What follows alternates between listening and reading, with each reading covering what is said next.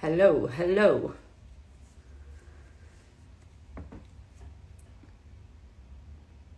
Hiya. There we all are coming in. How we going? I feel like I should put music on when I start these things to give a little bit of mood, you know, like lift music. What do you reckon? Hi, Al. Hello. Hang on, let me put this in the comments. Thanks, Candice. My hype girl. Let me get this up. Come and get comfy, guys. Oh, there's so many of you. Thanks for coming back. I'm all right, thanks, Ellen. I'm not bad. I've got a cup of tea. I hope you're all all right. Hi. Hi, Lisa. I need to talk to you, actually. Lisa, for those of you who don't know, lovely Lisa Lister in, in the comments is um, a wonderful spiritual woman who talks about moon cycles and your period. So get right involved. She's amazing. Come on, I'm going to give a little bit more time for you guys to come in and get comfortable. Sit right down. Thank you. The lipstick is Pink Pigeon. Pink Pigeon by MAC. Not a spawn. Not a spawn. Hi, guys. Thanks. The shirt is really, really, really old Topshop Charlotte, I'm afraid. Sorry, love. You might find it on, on the good old eBay or Depop vibes. Thanks, Hazza. It's an old Topshop one. Come and get comfortable, guys. I'm going to give it one more minute and then we'll crack on. Hopefully, our guest will turn up as well because I always get really nervous about this bit. I'm like, I'm just going to be talking to you guys for, on my own for a really, really long time. Um, okay, right, I'm going to get started. All right, welcome back, guys, to Lockdown Lip Sync. We're back for a second series. For those of you who do not know me, I am Lauren Mahon. You're wondering who is this gobby little cockney on my screen? I'm a I'm a presenter, I'm a broadcaster, and I'm proud founder of fundraising community Girl vs Cancer, which is my little baby. And I'm back to serve up a heart is nice of good vibes for you every Wednesday and Friday on your lunch breaks in partnership with Papa John's. The last series, 173,000 of you tuned in, which is crazy. Um, and I just had to give the people what they wanted, had to bring it back. So we're going to be talking to stars of big screen and little screen about lockdown, what they've had going on since the last one, what are they taking into this one, and what are we chucking in the bin. Um, and I just want to big up Papa John's for being a partner with me again.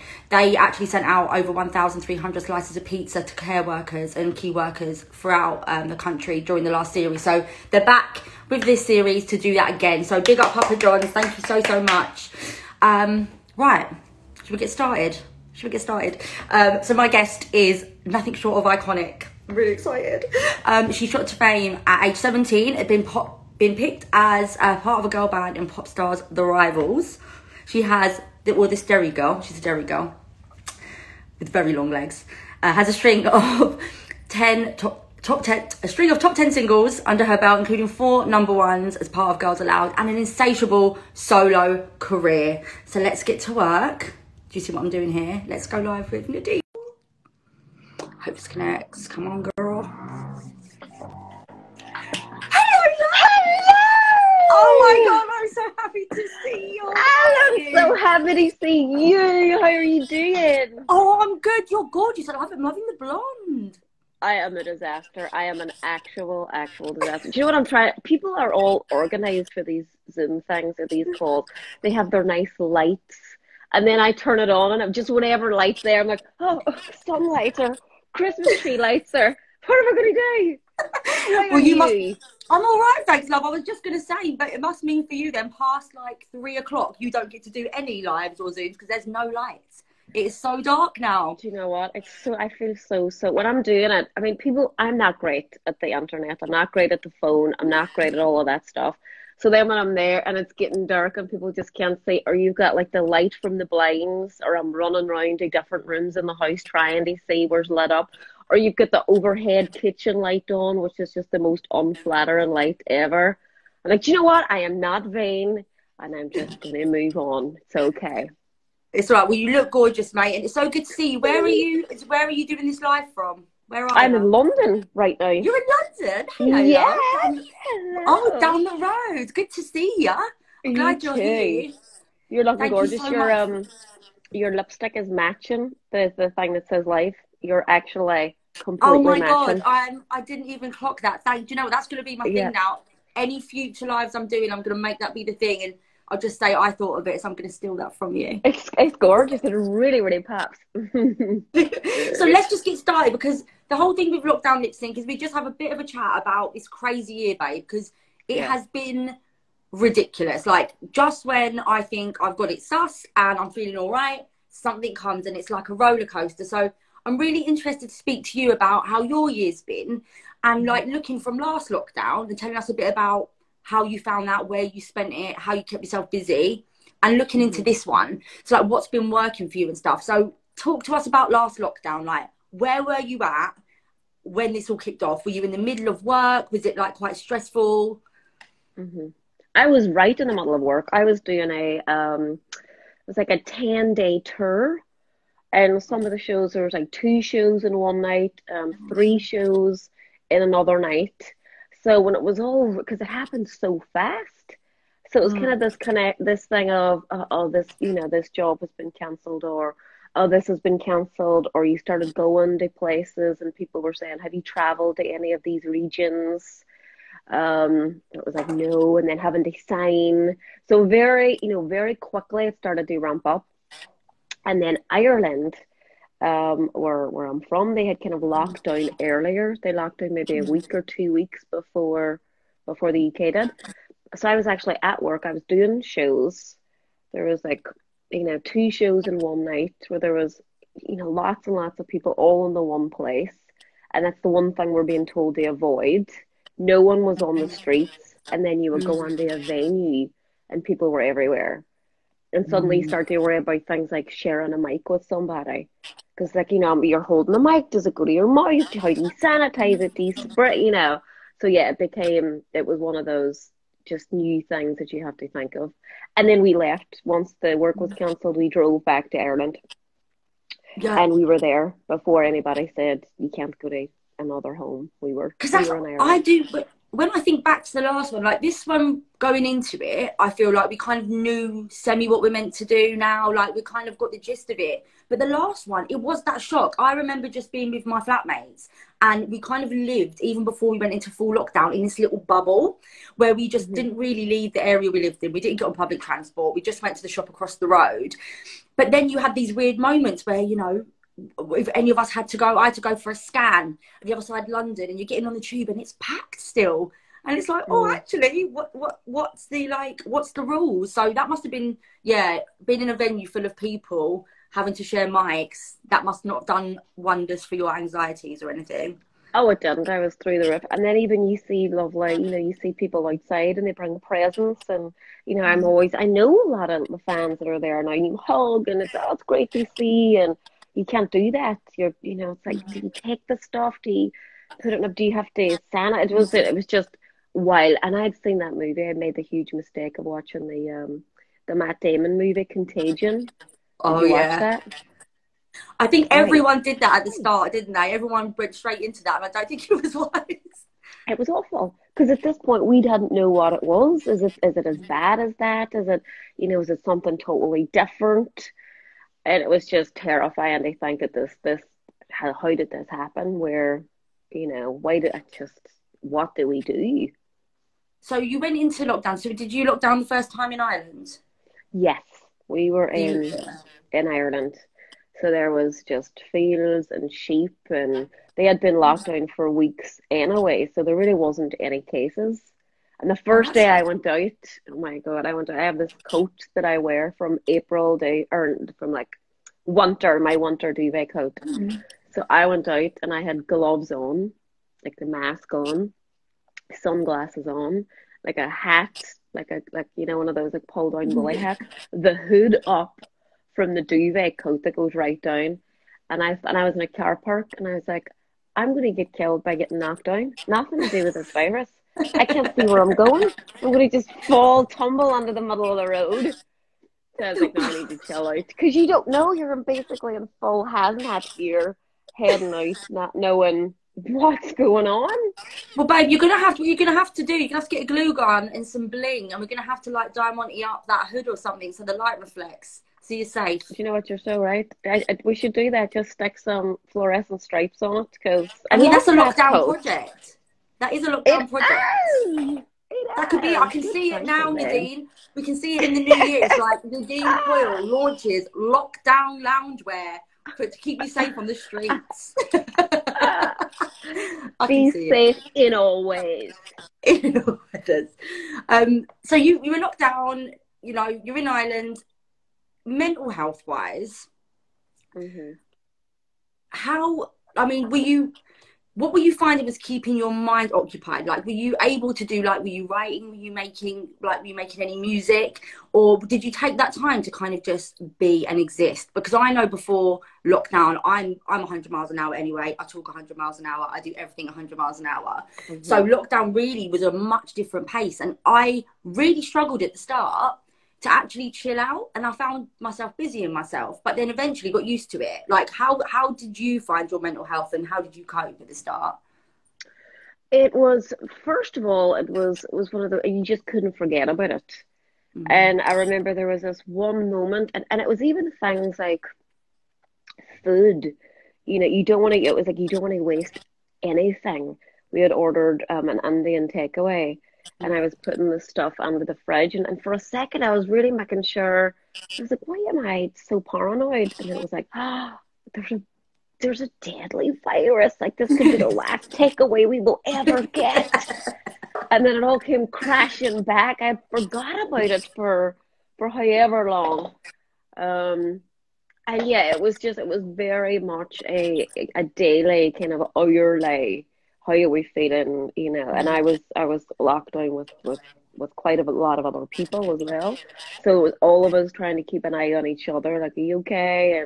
And but are you sure you're okay? Mm-hmm. And and i am i i like being at home. I am a i'm a mm-hmm. home person. I like you know i like that. So there was there was a feeling of it being some kind of extended christmas holiday mm-hmm. and also working in the industry that you know that we work in you know you spend time there's always like what's the next job or what's the next thing you're doing mm-hmm. here or the next thing and this was just nothing this was just mm-hmm. there's not work there's not going to be any work there's you know this is a dangerous you know time to be living in just sit down and shut up and just you know go through it. Do you know what I mean? I'm not to. hundred percent. Yeah. Like, just be out of it. Just just going to do that. Completely switch off.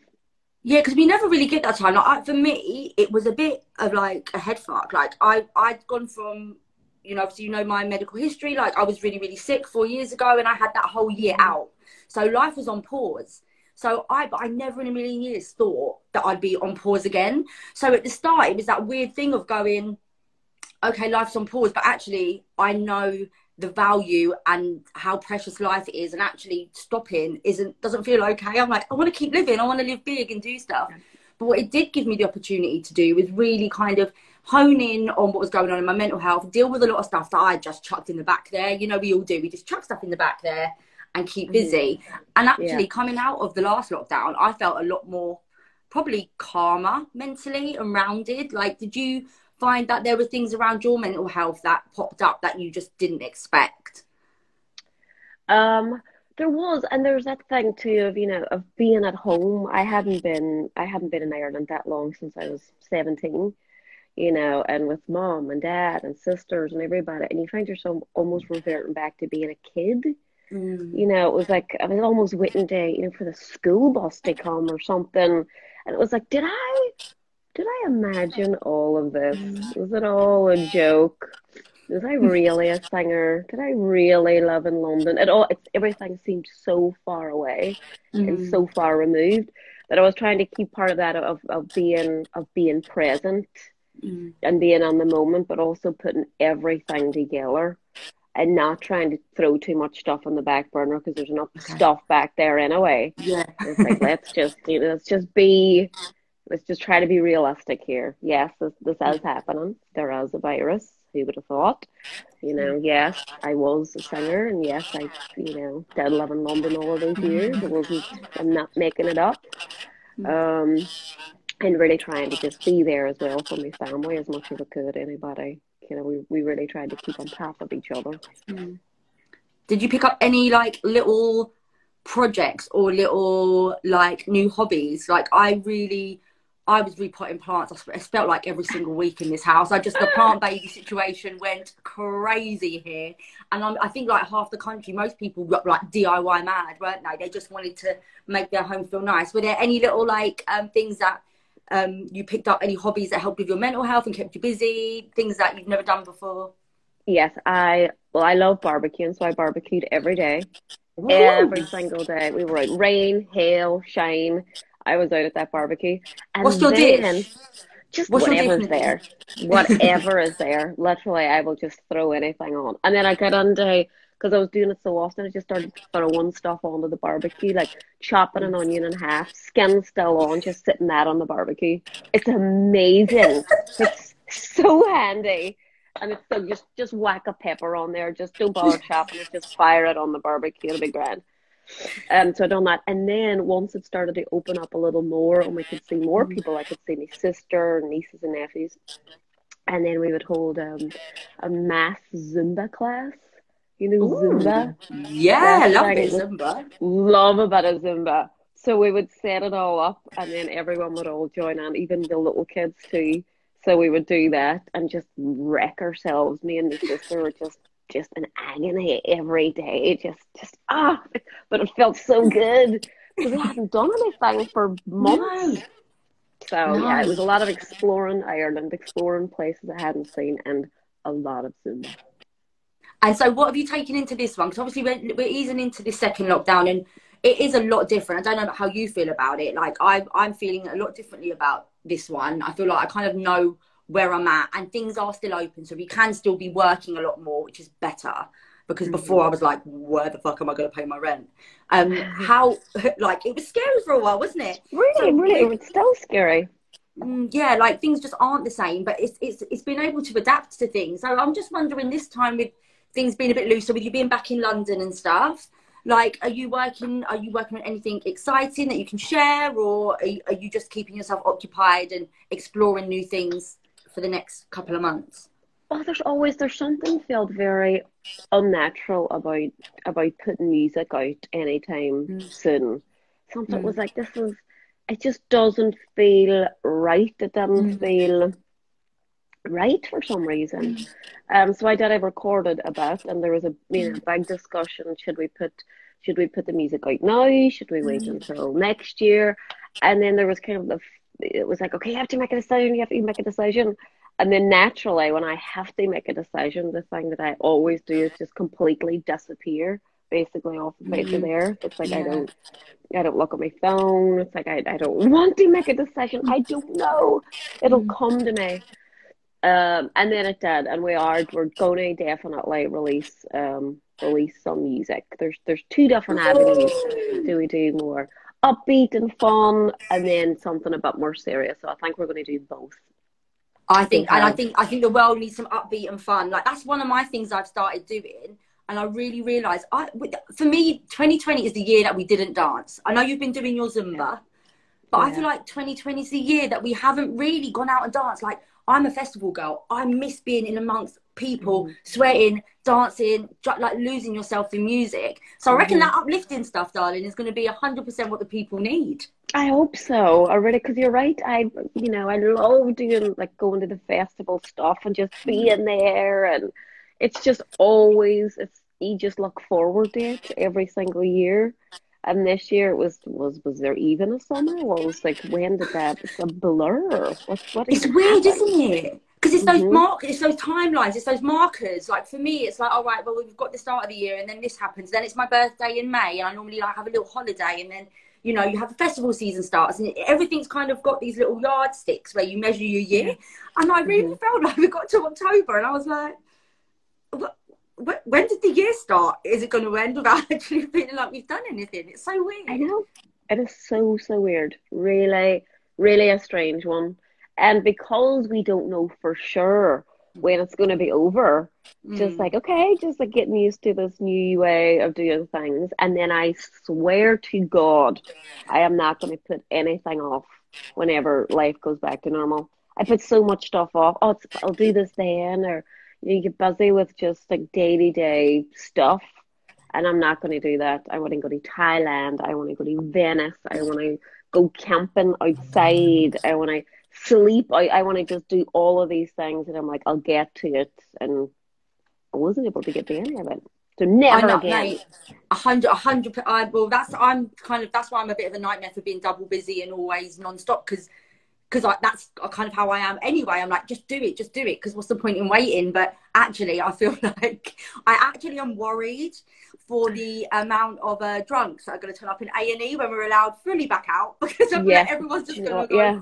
crazy Yeah. and get lost in it all, which is good. We need that. We We need that release, don't we? But there's something because everything's so forced and everything, even though they were shutting places at 10, people were just going mad. It's like, quickly mm. get another drink. Shot. No, two shots. I need to get this because they're going to mm. shut the place down. So then you did find that come half nine, you're like, oh my God, like, wow, this is, I feel like a teenager when you're trying to like sneak, you know, sneak drinks from places. Yeah, yeah, it did feel like that. It did, It didn't it? Yeah, yeah, yeah, I'm yeah. looking forward eh, to, to just being able to, to casually sit there and not feeling like you need to like pound drinks because they're going to take it away from me for some reason. I mean, babe, my alcohol at home, I'm not a big drinker at home. I've never have been, but over lockdown, that's changed. Um, Yeah. like I find myself, you just re- you don't realise that I'm sitting there. Like last night, I cooked myself a lovely pasta. I was like, oh, glass of rosé. And then next minute, I know it's like twelve thirty. I'm going to bed. I'm like, oh my god, I've done half the bottle on my own.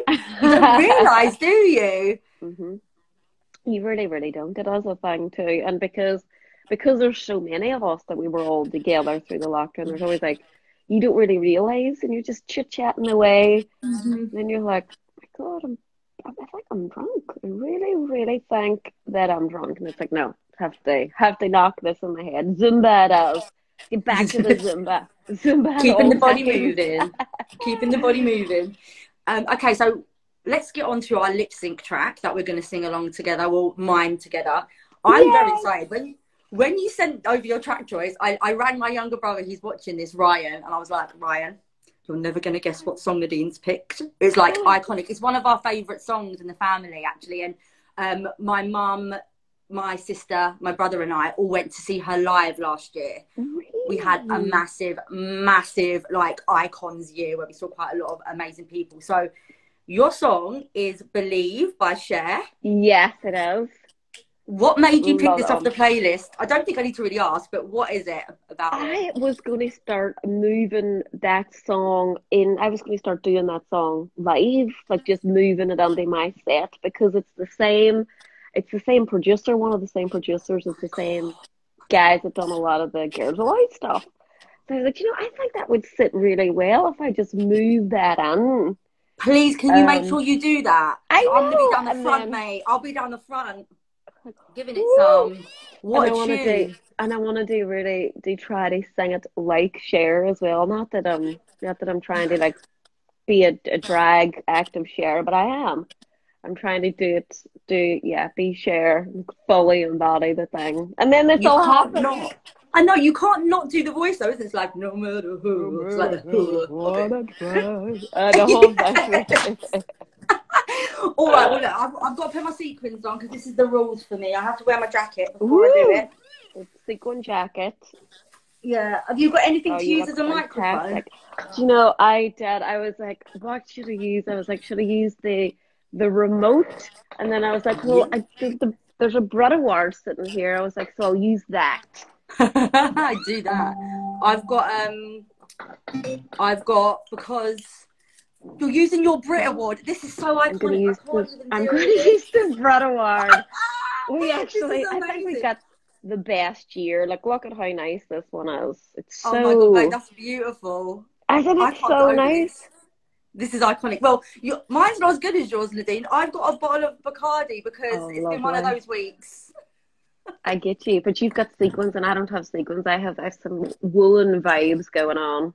Okay, we'll we'll we'll uh, we'll we'll, we'll, we'll Make say we're evens, babes. We'll say we're evens, right? So Yes. everyone watching, we're gonna do our lip sync. I want everyone who's watching to grab whatever makeshift mic they've got and get right involved in this song because if there is ever a song to kickstart this whole series, it's this one with Nadine. So are you ready, babes? I'm ready. I'm ready. Get the light too. I can't go over the Brit Award, man. It's totally the brittle and a broken seat that when I move it makes a lot of weird noises. It's not me, it's the chair.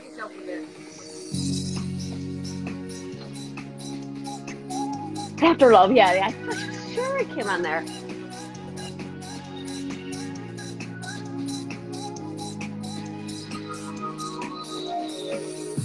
No matter how hard I try,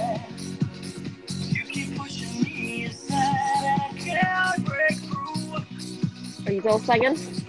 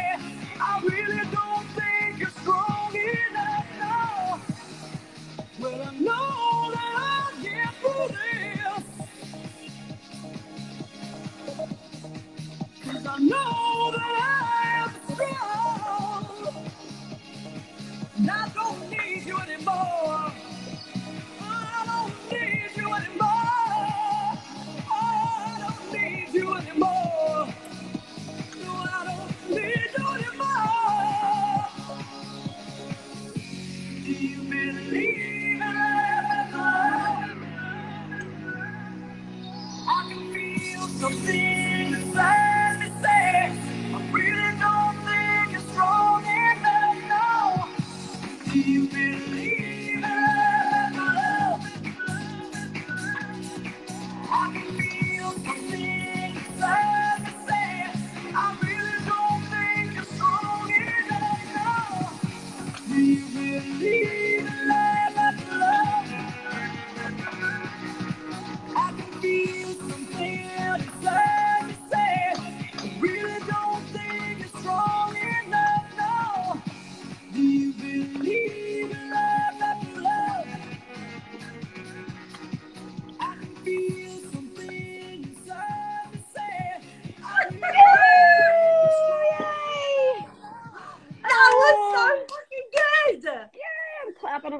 Also holding my phone. You were brilliant! Oh, you were really mate. Mm, natural was- at the lip syncing. That's put me in the best mood. Has it put you in the best mood? Yes, I feel in a really good mood. I feel endorphins, like ready, happy for the day ahead. Honestly, mate, that has been what a way to kick off the new series. It's honestly, it's been such a pleasure talking to you, and what a song to pick. It's so good to see your face as well, mate, and that you're doing well and that you're Oh. Lovely to see you too. Eventually to get a chat because I've been watching all you're doing. I'm like, we're just doing so well. Oh, thanks, mate. Well, listen, we said we'd get a cocktail eventually, didn't we? So Oh, we'll make sure we we that when will. we're allowed. We will. Both of us will roll on the A and E. Like we knew this was going to happen. Be like death by porn star martini. I could just see Yeah. it now. I can't wait.